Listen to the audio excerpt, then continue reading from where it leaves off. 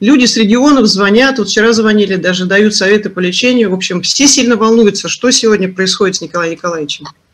Ну, с Николаем Николаевичем сегодня происходит нехорошая ситуация, что он лежит в больнице. Что касается его состояния, но здесь тяжело сказать, средняя тяжесть оно или все-таки тяжелое, а, потому что по информации врача сегодня только вот первый э, день Николай Николаевич э, непродолжительное время смог обходиться без кислородной маски. Вот. Э, но единственное, что положительно в этой ситуации, что не наступило никакого ухудшения, и все-таки врач считает, что прослеживается такая робкая, но положительная динамика. Вот. Э, будем, естественно, надеяться на то, что для Николая Николаевича все закончится хорошо, что он выздоровеет, что он оправится от этого заболевания, что он восстановится и опять будет вместе с нами. Ну а что касается причины этого заболевания, я, конечно, не врач, но я думаю, что все прекрасно понимают, что э, первую очередь, из-за чего э, все болячки, все вирусы, да, пристают к человеку. Это в том случае, если у человека, естественно, страдает иммунитет, если у человека понижен иммунитет. Естественно, Николай Николаевич 8 месяцев находится в заперти и говорит, что это прибавило ему здоровье, прибавило ему, ему иммунитет, но это значит издеваться над человеком. Естественно, за это время у него э, здоровье ухудшилось, общее состояние здоровья. Естественно, у него иммунитет, ну, наверное, вообще там, если не ноль, что-то около этого, да, иммунитет ужасно снизился. И э, потом, как я ведь говорил, что когда ему посоветовали э, в аппарате уполномоченного по правам человека его супруги Анжелики Егоровне посоветовали, чтобы Николай Николаевич гулял на балконе, да, то, конечно, гулять на балконе очень затруднительно, потому что балкон маленький, на нем какие-то вещи стоят. Ну и сами, как вы все понимаете, гуля... представляете, гулять на балконе. Николай Николаевич стал по-другому делать, он стал просто широко открывать окна, чтобы э, в квартиру поступало как можно больше свежего воздуха. И вот как раз, как он считает, что, э, в принципе, такое могло быть на самом деле, что его именно продуло как раз э, в один из дней, когда он задремал около открытого окна. Вот. И он, в принципе, почему и списывал сначала, сначала это все на бронхит, потому что, ну, как говорится, поспал у, у открытого окна и вдруг э, почувствовал недомогание, кашель, э, температура поднялась и так далее. И самое интересное, что когда пришел участковый врач, то участковый врач, осмотрев его, сказал, что это э, действительно острый бронхит. Но видите, получилось немножко все опаснее, немножко все сложнее. Вот. Немножко Но, опаснее. А какой диагноз ему ставят сегодня? Я не хотел бы сейчас, скажем так, обсуждать его диагноз, вот, но заболевание связано с легкими. Вот, поэтому подозрение, скажем так, подозрение на пневмонию. А, потому что здесь вот сторонники, э, я видел на Красном радио выступала э, одна сторонница Николая Николаевича, она давала более такую четкую оценку его диагнозу, но, к сожалению, я статусом адвоката э, довольно-таки сужен в том, чтобы давать какие-то...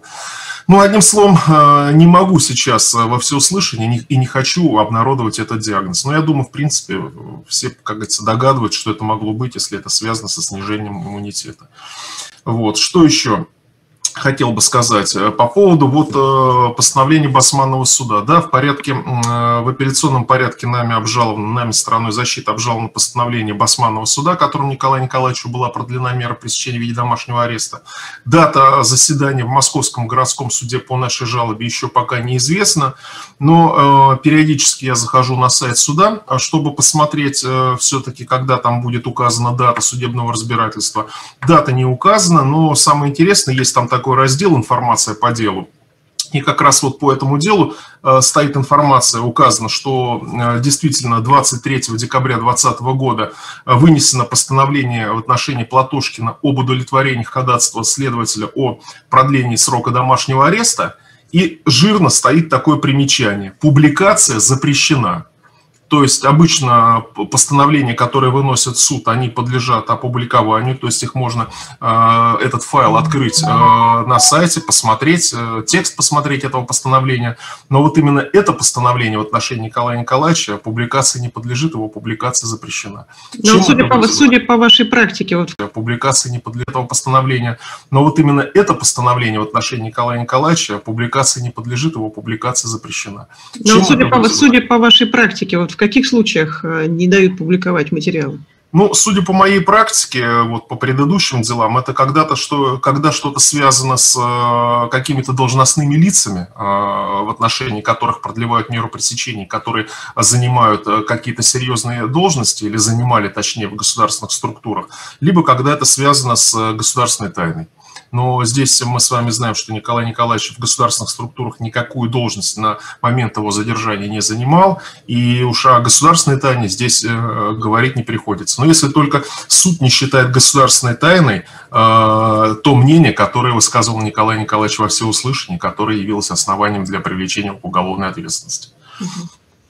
Александр Алексеевич, вот вы говорили о том, что вы почти уже э, закончили знакомиться с материалами уголовного дела, и вот каждый раз в эфире вы нас удивляете формулировками следователей о том, что Николай Николаевич, например, там угрожает системе ценностей этого общества, о том, что он виновен а, в побуждении к установлению вот этого социалистического строя. Вот что-нибудь еще подобное появилось за это время в уголовном деле? Вы знаете, там, что не формулировка, то, как говорится, повод для того, чтобы либо загрустить, либо, наоборот, развеселиться, да, тут, знаете, как говорится, от смешного до грустного один шаг, и наоборот.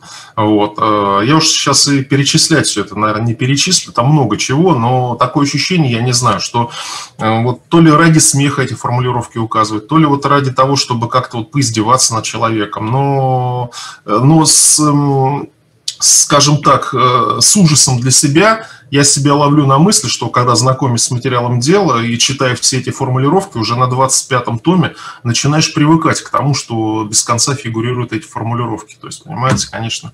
Вот. Э, мы не до конца знакомились с материалом дела. Почему? Потому что Николай Николаевич изъявил желание окончить ознакомление дела совместно со своими защитниками, э, потому что мы, в принципе, когда следствие было окончено, и мы были уведомлены о том, что можем ознакомиться с материалами дела, то мы изъявили ходатайство все, включая Николая Николаевича, чтобы мы знакомились как совместно все, так и раздельно, то есть по выбору, а, естественно, Николая Николаевича. И так получилось, что до сегодняшнего дня мы знакомились все равно совместно, раздельно никто не знакомился.